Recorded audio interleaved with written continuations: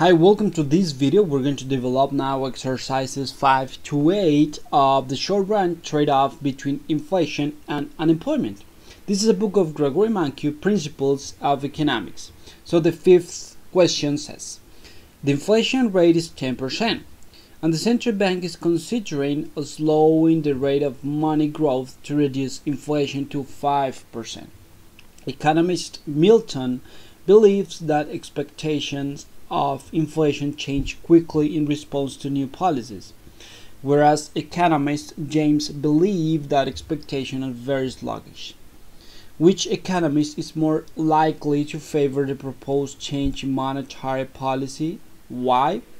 Well, remember that when we are uh, calculating the unemployment rate, it depends on the natural unemployment as well as the expectations the the expectations or the difference with expectations which is uh, higher to this gap with the actual inflation.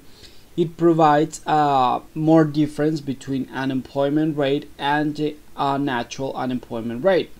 So then if expectations react if the expectations react to monetary policy it means that people believe on a strategy for the central bank, then it should be um, react in the actual unemployment rate. Other side should be when the expectations do not react to monetary policy, then un under this situation, under this situation, we have that the unemployment rate will not change too much.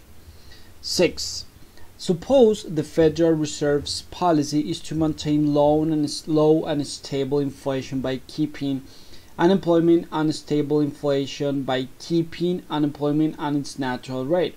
However, the Fed believes that the natural rate of unemployment is 4%, when the actual natural rate is 5%.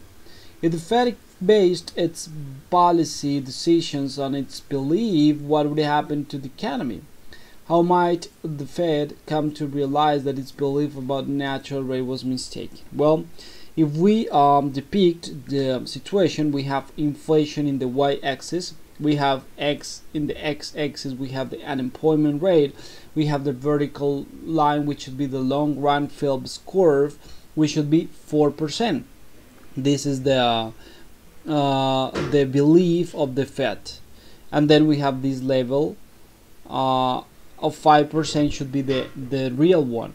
So then actually we should be in something more than P2 compared with P1.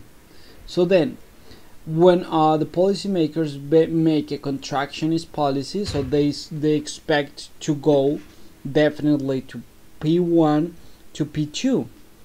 But then actually the situation is this one. So then when we are here actually Fed realized when the movement will go this over 5% in a contractionist uh, policy. So then when uh, any any policy is uh, carried out then under this situation probably Fed will realize that the the the, the idea that it was 4 4% was not okay because of the level of actually of because of the of, of the level of the prices. Then this due to the level of the prices that uh, the real data will provide P2 instead of P1 this should be the answer why or how the Fed will realize that it was wrong. Okay. Seventh suppose the Federal Reserve announced that it would pursue a contractionary monetary uh, policy to reduce inflation rate would the following conditions make the ensuing recession more or less severe? Explain. Well, the first one, well, here we have the situation of the aggregate demand. So this is a recession, contraction in the level of prices and contraction in the level of output. A. Wage contracts have short duration. Well, if it adjusts easily to change in prices, it will make less severe because under this uh, change under this change all the wages will adjust better to the to the change in prices. B there is a little confidence in the Fed's determination to reduce inflation. Well it will be less severe as well because there is not going to be a real change in the aggregate demand due to the expectations or due to the well the idea of the people. So then the aggregate demand will shift to the to the left however uh, lower than people believe in the in the situation of the central bank c expectation of inflation adjusts quickly to actual inflation. Well, under this situation, uh, it should be again a less severe contractions due to the monetary policy is definitely effective.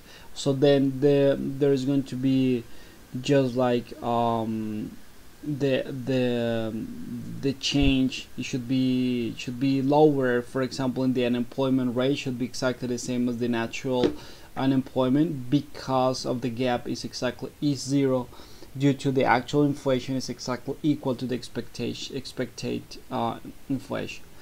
8.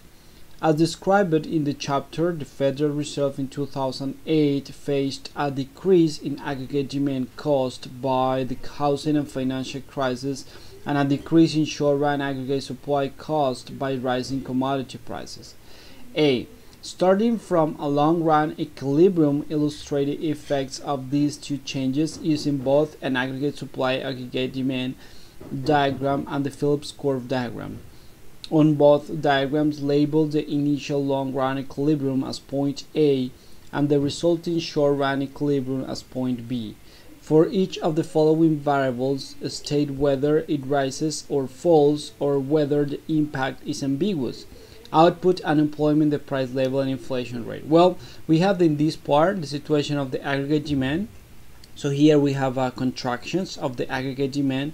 Then as a consequence, we have naturally, well, a decrease in the in the output. I put here P1 because I kept um, the level of prices exactly the same. I want to show you why because it's still um, missing the the shock in the aggregate supply. So then here the situation of the Phillips curve. So then here we have the equilibrium in the long run Phillips curve in the P2U2. Then this is the long run uh, aggregate supply and then it's going to be a contraction as well in the aggregate uh, supply. So then as you can see here we see a reduction in total output and then we have an ambiguous situation of the prices. So then probably we can be uh, in P2, we can be above if the change in the aggregate supply is larger than the change in the aggregate demand.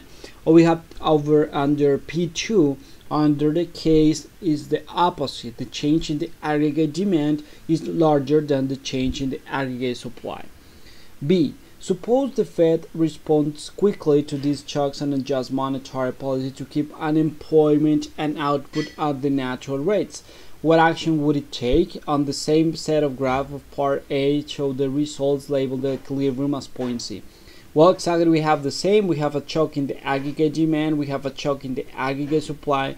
So there is a disadjustment in the situation. Remember that the idea of the monetary policy in the case we have larger prices, they should be like kind of contraction. Is in the case that we are under here, we need um, um, expansion monetary to reach again P2 so here the situation uh, we are going to increase the AD2 enough to compensate the change in both curves and then we're going to uh, finish with P2 this one should be this this level of prices but exactly the same level of output. As a consequence we are going to face we're going to move more than from P2 to P1 due to this uh, due to this change. What might the Fed choose not to pursue the course of action described in Part B? Well, in the case that the aggregate supply was larger than the aggregate demand, remember that we are facing a higher level of prices.